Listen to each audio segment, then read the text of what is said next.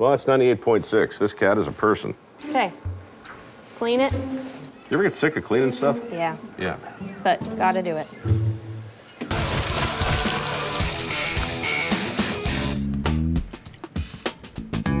All right. Cold, isn't it? Yes, it is cold. Now, he uses a lot of rocks in his nest, and what I usually do is just throw them back in the water, and he'll, he'll redo it. Oh, That could probably go in the bucket. You yeah. can't smell it. You don't want to smell it. This is special penguin bouillabaisse. Mm-hmm. Mud, grass, regurgitation, smelly rocks, lots of poo. You think, you think you've smelled every kind of poo there is, and yet you stumble across a, a brand new nuance here. I Uh-huh. mean, I, is it the urine? I guess, it must be. The ammonia, Ammonia, yeah. is fantastic. I'm starting to get it now, yeah. Yeah, I mean, nice. I mean, really. Yeah.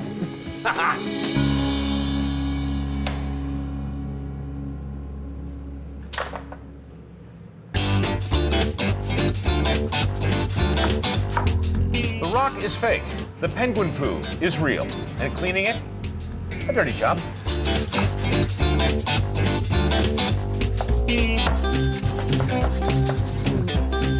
Penguin poo.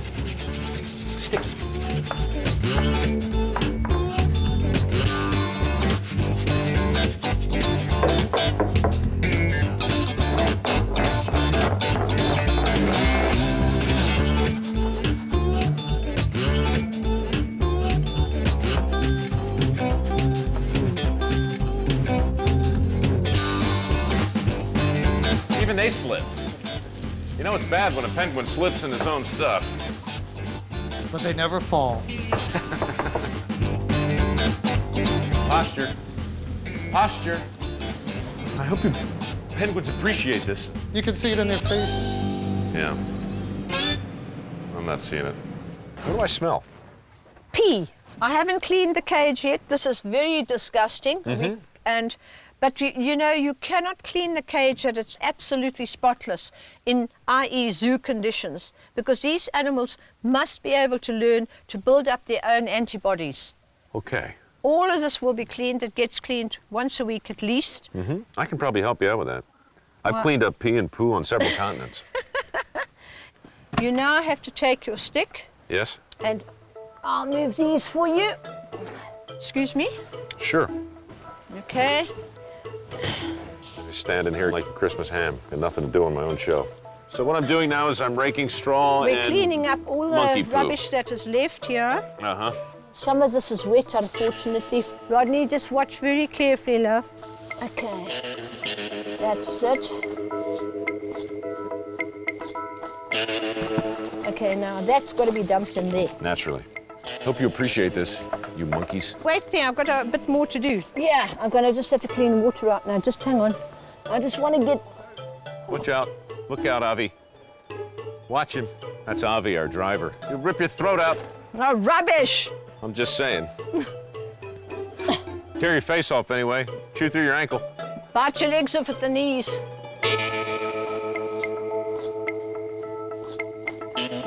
Monkey poo coming through. Just empty it? Just empty it out because they come and scatter it around and they find things that have... Who does? the other monkeys and, and they just dump it in a heap. The monkeys play in their own poo? No, they scratch looking for food that might have been left behind. And they also, it also composts the place. So it all goes back into the earth, one way or the other. Well, this is one way we might be slightly different from the monkey. I mean, I don't root through my own poo for food. I hope so. Shearing is done in three sections. The first section is the belly, or the blanket. This is the really good stuff, or the number one fleece. Very soft. All right. Then it's the number two fleece, the upper legs and lower neck.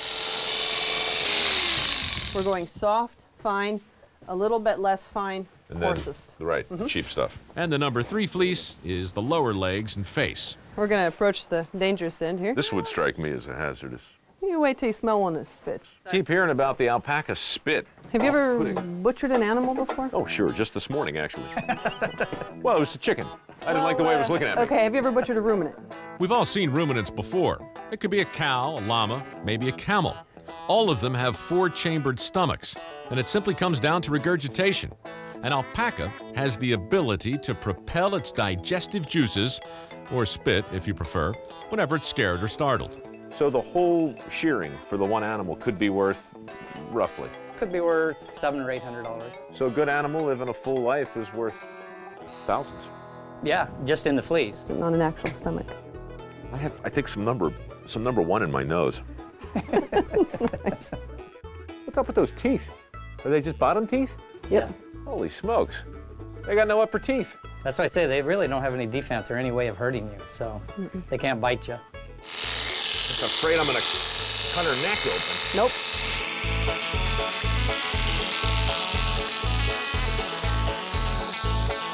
Trying to even that up a little. It's just not as easy as you made it look. This is why you hire her. This is why I don't do it. What am I doing here?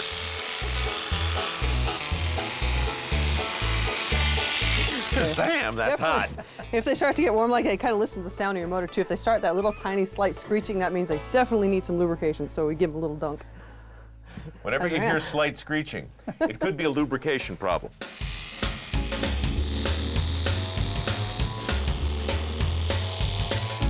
I, I made a mess of it, didn't I? You did.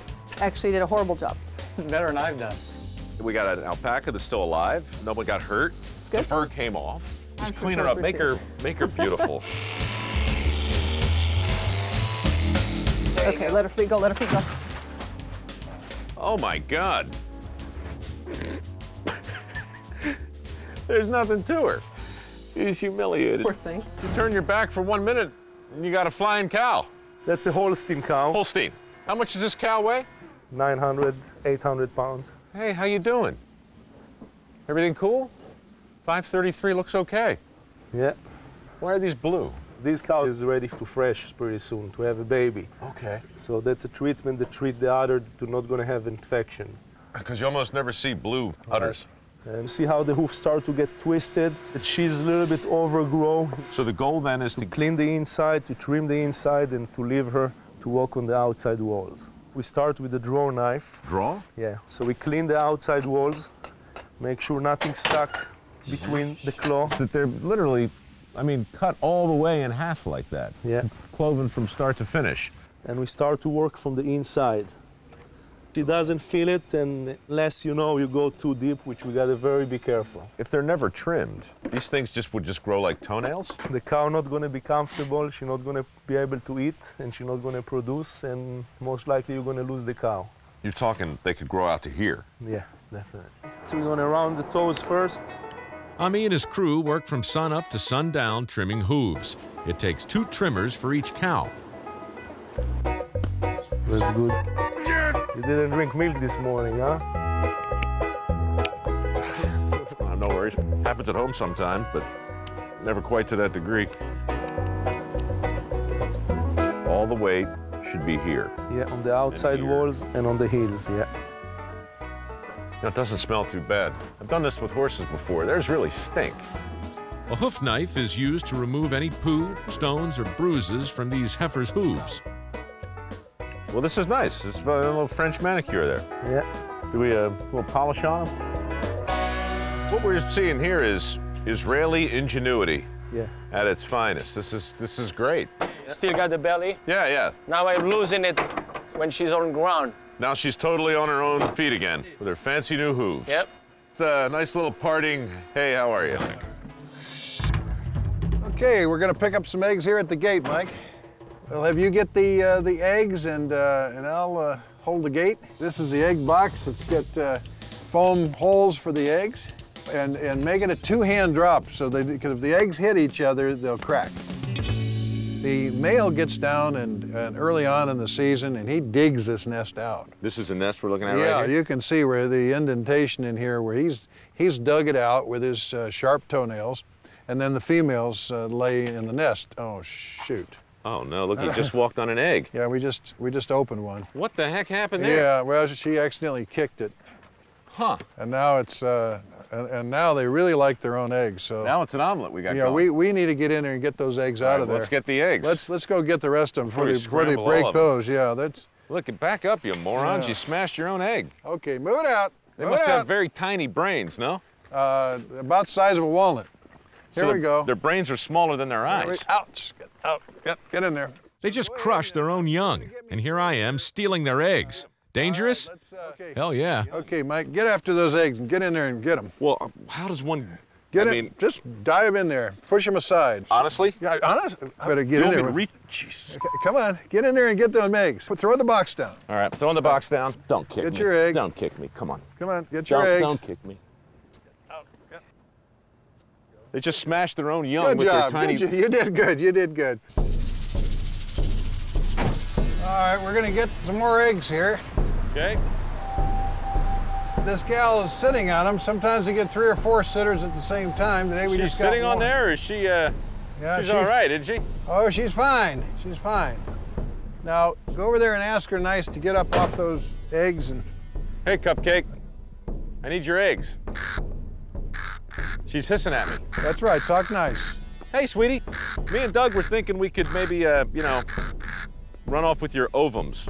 See if you can go over there and nudge her and, uh, and see if she'll get up for you. Hey, you're on the eggs we need.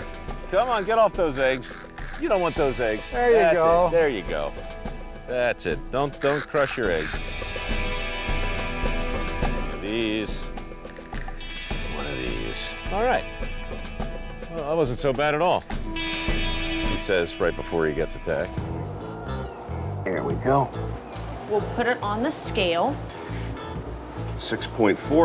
6.6, you were pretty close. Uh huh. Most cats have a temperature between 101 and 102.5. Most cats also have rectums. I just want to make sure it's got it properly in there. I think we do. Maybe we need a new thermometer. Maybe we need a new cat. 98.2, 3. Anesthesia can lower their body temperature just a little bit. Well, it's 98.6. This cat is a person. Okay. Clean it? You ever get sick of cleaning stuff? Yeah, Yeah. but gotta do it. All cats are given eye cream to protect their eyes from drying out during surgery, except for cats without eyes. No cream for them. Now we tag it. Mm-hmm. Okay, you wanna give your injections? Every cat gets a rabies vaccine. What did we forget to do? Is it a boy or a girl? We don't know how to prep it. I felt like he hissed like a like a boy, but let's have a look. This is clearly a boy with nipples and no penis. Don't let the nipples be your deciding factor. As a rule, that's a good way to go through life. The female cat's gestation period is just two months, and she can get pregnant again just eight weeks after giving birth. This is why spaying and neutering is so important. With litters of up to eight kittens, the math is staggering. Which brings us back to Spitty Kitty. Watch the nipples. We have to be mindful of the nipples, but it's not like she's ever going to use them. You don't want her waking up with less than she came in with. Um, unless you're counting ovaries and a uterus. Well, yeah, that's true. A feral cat born in the wild has an average lifespan of five years. A domestic cat might live anywhere from 10 to 20 years. According to Google, there was a cat in Texas called Cream Puff who lived to be 38. We've got a boy over here. So this is the first male we've seen. This is basically what the castration process looks like. Is it technically, is it a tomcat? Uh-huh, it's a tomcat. That's one side. Mm -hmm. And that's a male cat That's that fast. It's that fast. on male cats. Permission to touch the testicles? Yeah, that's, she's all yours now. Well, technically, that's a he, I believe. Yeah. But maybe not as much as he was a few minutes ago. What are those? I think we know what they are, Nick.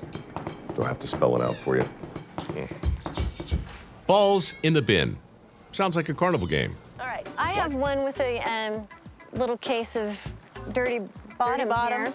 When it um, when they eat wet grass, like when it rained the other day, they can it can make them have runny bottom. So we've fed them, so now it's time to potty them. You're gonna hold one hand here, Uh-huh. and this is the cloaca under here. This is where everything important happens from a kangaroo. Right. This is where they mate, that's where they go to the bathroom, that's where the babies come out of, and you just have to stimulate it. We use a wet wipe because Very they're used busy, to their, Very busy junction. yeah. Here, you wanna show them with Dilly? Wait, so the goal is to make them pee? Yeah, that way they won't go in their pouch. You train them to, Right. to, to go to the bathroom right after they eat, oh, and then they learn to get out of their pouch to go to the bathroom. These things are going to be spoiled forever once you go through a childhood like this. You don't even know. I didn't even know I had to pee. Then a nice lady came along and rubbed me till I did. I'm never leaving this place. you didn't see this on planet Earth. hey, well, she's biting me. She's grooming you. Oh, is she? She's accepted you as a kangaroo. Well, she's going to accept me probably as a fiance in a minute if I do all this right. Well, Okay, now. All right, now pull your hand back so we can see if she's seeing or not. Not yet. Okay, go ahead and do it. what do we call this? Well, you were like you were like all up in there. That's why you got that. Oh, come on. You, you got to be in it to win it there, Sarah. all right. Okay. All right. Oh, and no, look you in there with the whole forearm thing flexing and everything. I was trying to gentle it up a little bit. All right, so you can, uh, let's turn her around. I think she's got some poo there. Yeah. Um, the little arms are really delicate, so you never want to pick them up from there. Right under here, and then the base of the tail, and then you flip them and tuck them like a football. Oh, yeah, look at that. Flip him and tuck him like a football. Hey, I'm to flip you and tuck you like a Right like football. I did this to a goose once. Look at you, crapped all over yourself. Now, Tully is our special little girl. Her mom, for some reason, stopped taking care of her, Mhm. and so we pulled her, and she had stress fractures in her leg. Oh. So she's got her little camo on. So we start standing the same way we did? Mm-hmm. Okay, that's good. There we go. She won't Sorry. stop. Sometimes I swear they pee more than they've drank. Still peeing amazing. I feel like I want to pick her up and wring her out. Oh, I don't think we've ever captured a kangaroo fart on the show before. As you can feel right now, if you want to pull on it, it's pretty heavy. That's a full nappy. Yeah. Oh, yeah. So there is a little screw cap right here. Yeah? You need to unscrew. We have to weigh this, so we don't want to lose anything if we can help it. Man, pee is terrible smelling stuff. Eh. Oh, dear. You're also going to have to massage the bladder to kind of squeeze it out of there. Ah, daggone it, Jillian, no matter how much you shake it.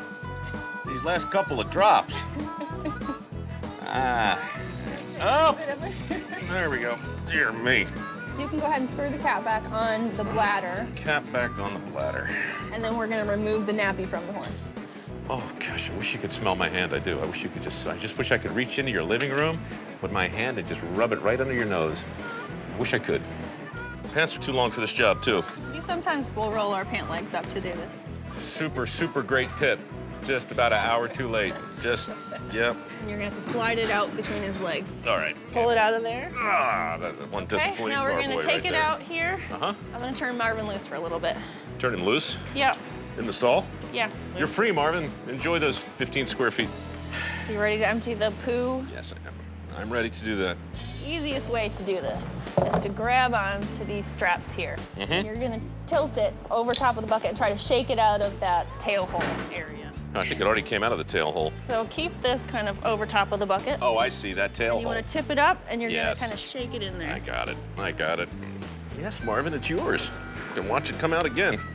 And then we wipe them out. We clean these once a day. Mm-hmm. So you basically just have to wipe everything up, make sure you get everything out of there, and then wipe all where it's messy. Where it's messy. This is the bladder area. We don't want poop to get into his urine. So you're gonna have to stick your finger in there. Oh, come on. don't, don't make stuff up. No, I'm serious. If it's clogging, the urine will overflow and go onto the floor. Look, I'm a good sport. I'll do whatever you tell me, but I mean, gloves? I, I see them all over the place. Well, we usually wear gloves when, we- when we mix the when we mix up the poo, but this we're usually in you know in the middle of doing Okay, something. no, that's fine. I just, I'm just asking because I'm, Yeah, I'm curious. Okay, let's go ahead and have a poke around there. Nope, nothing blocking up the urn hole. Thank you. Thanks for the thorough check. I believe you. There was. I don't believe that was necessary, actually. Now you want me to just wipe all this stuff? Yep, swipe it all up. What are the odds of getting some more towels? Could you spare a square, one one at a time, really? Well, you probably won't need any more than that. I mean, I don't want to get personal, but one square at a time? Is that basically how you roll? I gave you three. no, I had to ask for all of them. We're trying to be like environmentally conscious here too. Yeah. Yeah. There's been a real run on paper towels. Cleaning the nappy thoroughly ensures that the next load of poo won't be contaminated.